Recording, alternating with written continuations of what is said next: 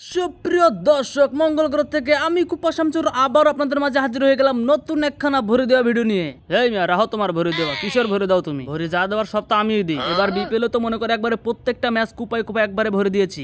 আল্লাহ হাওলা করতে বিল কিও মামুর বেটা ভাতিজাদা লর্ড শান্ত তুই তো দেখি এবার বিপিএল একবারে পুরো আগুন। শালা যে শান্ত টি টোয়েন্টি ম্যাচকে টেস্ট বানিয়ে খেলার রাজা এটা সেই শান্ত এবার বিপিএল এ প্রত্যেকটা ম্যাচ আগুন যারা ব্যাটিং করতেছে। এটা কীভাবে সম্ভব? আর মাম্মা এটি তুমি বুঝবা না এটি তোমার বোঝার বয়স হয় না এগুলো হচ্ছে আতঙ্ক আর সব থেকে বড় কথা হচ্ছে এবার আমাদের সিলেটের ক্যাপ্টেন হচ্ছে আমাদের বস মাশরাফি যে কিনা মাঠে থাকলে পুরো মাঠ একবারে তালে তালে নাচতে থাকে। আর আমিও ওই তালে তালে মনে করো চার ছক্কা হয়ে হয়ে মারতেই থাকি। আরে ভাই এটা কিন্তু সত্য যে আমাদের মাসাবের ক্যাপ্টেন্সিতে এবার আমাদের লটসন তো পুরো আগুন হয়ে গিয়েছে। লাস্ট এক ম্যাচে তো একশো ছেচল্লিশ স্টেক রেটে উনচল্লিশ বলে সাতান্ন করেছে। আবার গত বছর সাকিবের বরিশালে মলিন ছিল তৌহিদ হৃদয়। বাট এবার মাসাপের ক্যাপ্টেন্সিতে এসে তিন চার ম্যাচে big score with impact last এক ম্যাচে তো একশো বিরাশি স্ট্রাইক রেট নিয়ে ছেচল্লিশ বলে চুরাশি রান করেছিল। সুতরাং একটা কথা তো আমরা বলতে পারি, যারা ব্যাটও ধরতে পারে না মাসাবের ক্যাপ্টেন্সিতে সে ব্যাটে ছক্কাও মারতে পারে।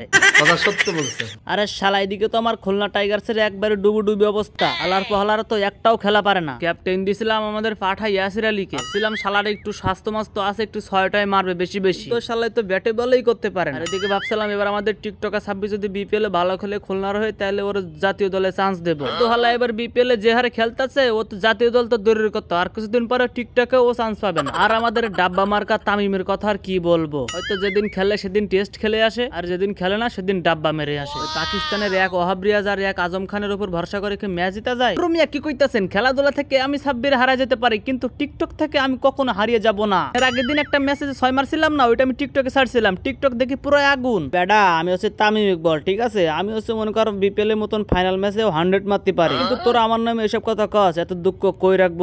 আর এবার বিপিএল তো আমি ইচ্ছা করি ভালো খেলতেছি না। কারণ আমি তামিম ইকবল টিমে থাকতে অন্য কাউকে ক্যাপ্টেন্সি দেয়, এটা আমার প্রেস্টিজে লাগে। মাম্মা ক্যাপ্টেন্সি হতে গেলে কলজা লাগে। যে কলজা আমি সাকিব ছাড়া বাংলাদেশ আর কারণ নাই। আর এবার বিপিএল তো মনে করে এবার বরিশাল একবার প্রত্যেকটা ম্যাচ জিতবে। কারণ বিপিএল এর সবকটা টিম চলে কোচের কথায় আর বরিশাল টিম চলে সাকিবের কথায়। আর কিছুদিন পরে ভাই তোরাও দেখবি যে আমি সাকিবের কথায় বিসিবিও চলতেছে। কথা কি ক্লিয়ার না ভেজাল আছে? তো সুপ্রিয় দর্শক ভিডিওটি যদি ভালো লাগে থাকে অবশ্যই একটি লাইক করে দেবেন এবং ভিডিওটি কেমন লেগেছে অবশ্যই পিছন মারে একটি কমেন্ট করে জানাবেন। আর এরকম ক্রিকেট লাভার্সের ফানি ডাবিং ভিডিও পেতে অবশ্যই চ্যানেলটাকে কি করতে হবে? প্লিজ সারা সারা সারা